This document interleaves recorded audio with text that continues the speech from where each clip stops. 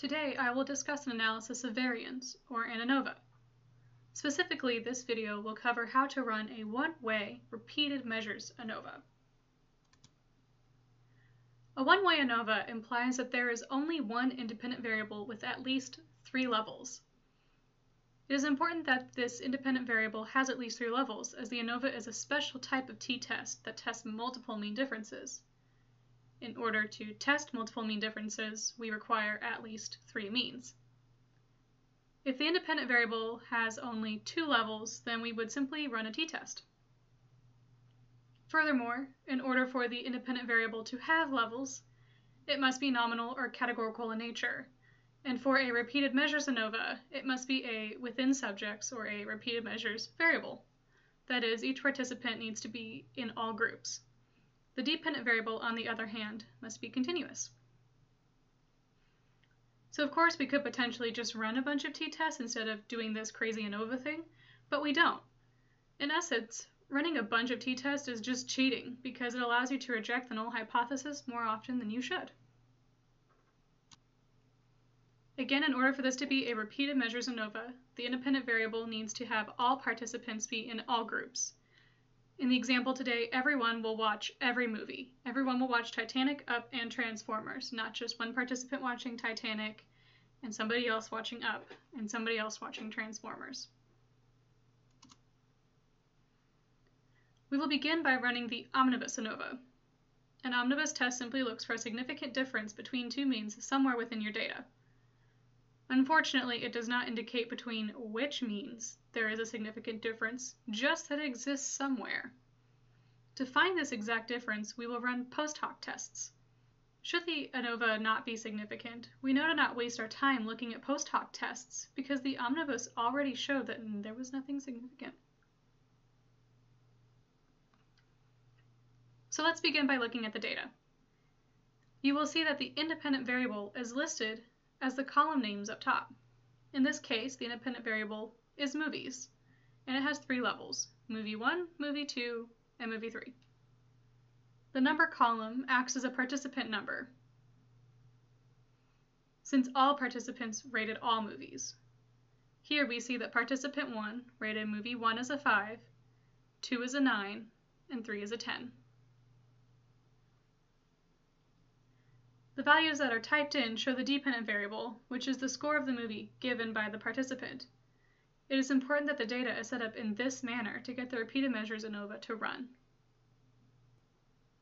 Now for the Omnibus ANOVA. Go to Analyze, General Linear Model, Repeated Measures.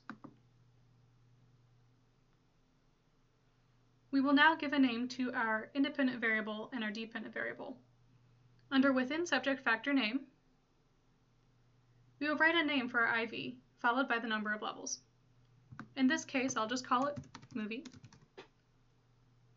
And that has three levels, Movie 1, 2, and 3. And then click Add. The measure name will be the dependent variable, or in this case, simply score. Again, click Add, and then click Define. Next, we will define the independent variable. We have indicated that there are three levels of movie, so we need to move the correct movie columns over to the Within Subjects Variables box. So I will click Movie 1, and then click it over using the arrow. You will see Movie 1 lined up with Level 1, Score. Do the same for Movie 2 and Movie 3.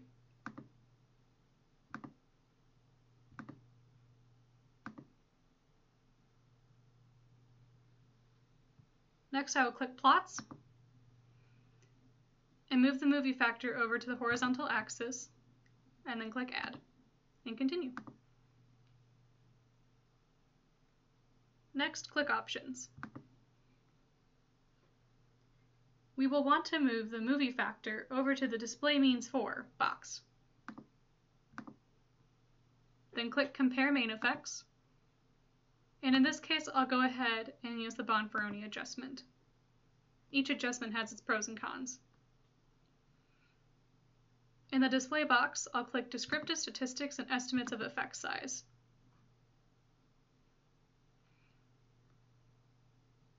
The significance level will be the p-value threshold you need to meet to determine if this is significant or not.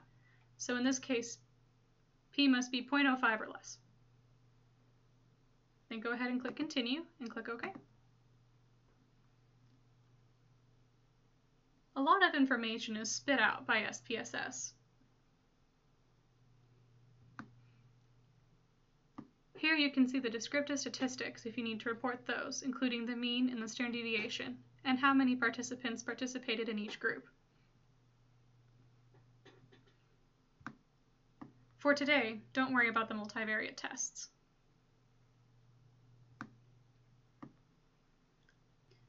The test of sphericity is an important test, and if the p-value here is significant, you will need to adjust to the Greenhouse-Geisser or the Huynh-Feldt correction. Because our sphericity test has a non-significant p-value, we can go ahead and assume that sphericity has been met. Looking at the test of within subjects effects, we can see the degrees of freedom, the F statistic, and the p-value for this test we will look at the line that says sphericity assumed, since that p-value earlier was non-significant.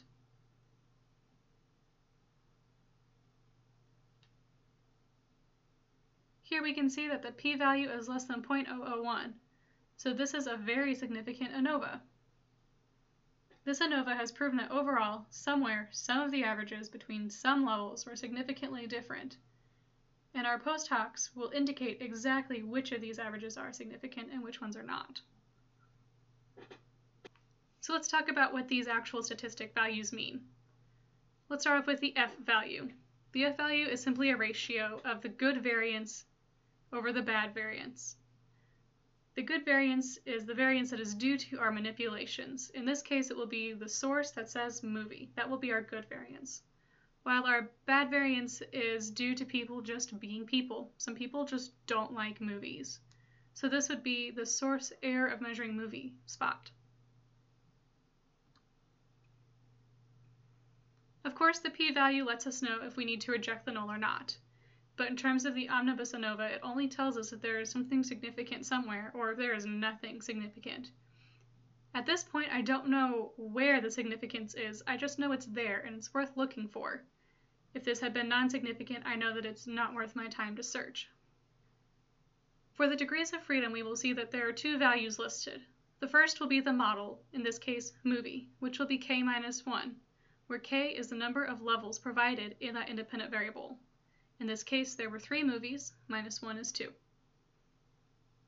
For the error degrees of freedom, we will see that k minus 1 multiplied by n minus 1, where k is again the number of levels in the IV, and n is the number of participants total.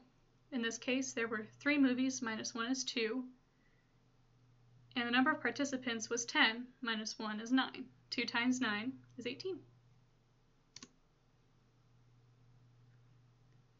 When reporting the omnibus ANOVA, we will report it as f, the degrees of freedom of the model, comma, degrees of freedom of the error, parentheses equals the f value, comma, p value. In this case, f 2 comma 18 equals 491 and the p-value is less than 0.001.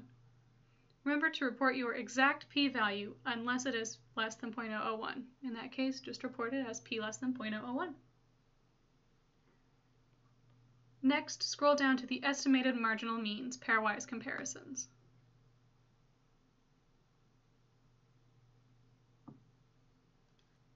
This is our post hoc test box.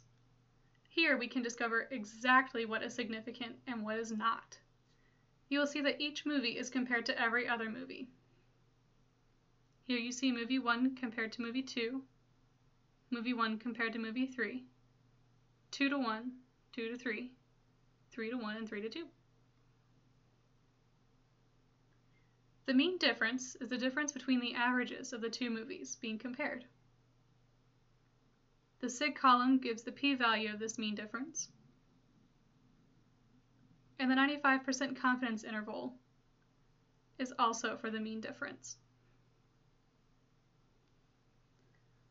We can report these post hocs as there was a significant difference between the average score for movie 1 and movie 2, p less than 0.001. You can report all of these significant differences between all of the different pairwise movies. And that's how you run a one-way repeated measures ANOVA.